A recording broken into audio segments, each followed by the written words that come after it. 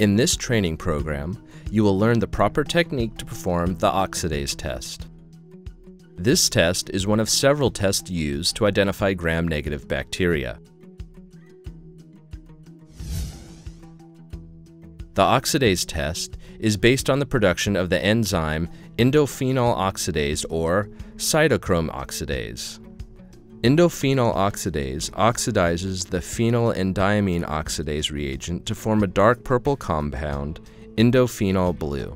This is usually only present in aerobic organisms. You have a positive reaction if the paper develops a deep blue color within 10 to 30 seconds. A weak reaction may occur in 30 to 60 seconds. This indicates that the indophenol oxidase has oxidized the phenylenediamine oxidase reagent to form indophenol blue. For this procedure, you will need the following materials and equipment.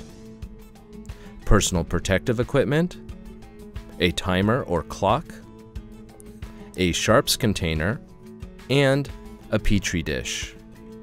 You will also need filter paper. Do not use the filter paper once it begins to darken.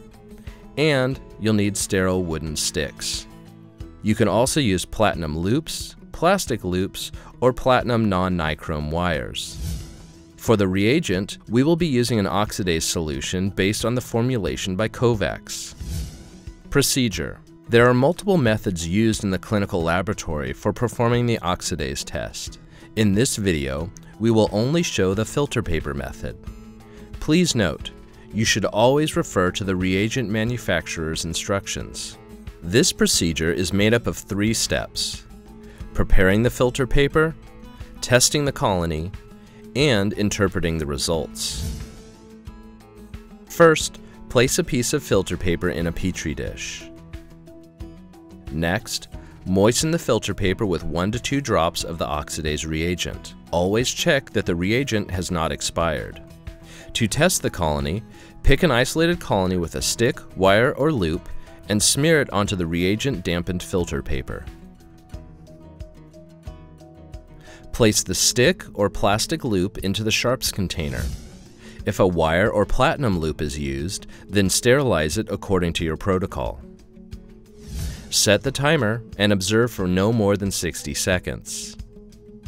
You have a positive reaction if the paper develops a deep blue color instantly or within 10 to 60 seconds.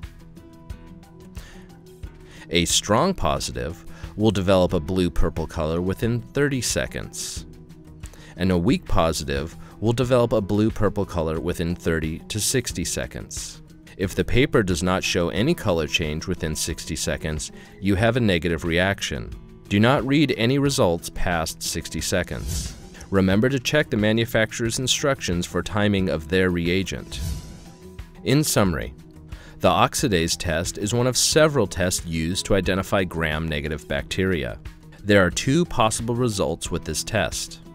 A positive reaction, which shows a blue-purple color within 10 to 60 seconds, and a negative reaction, which shows no color within 60 seconds. Last, remember to dispose of all the waste into the biological waste container.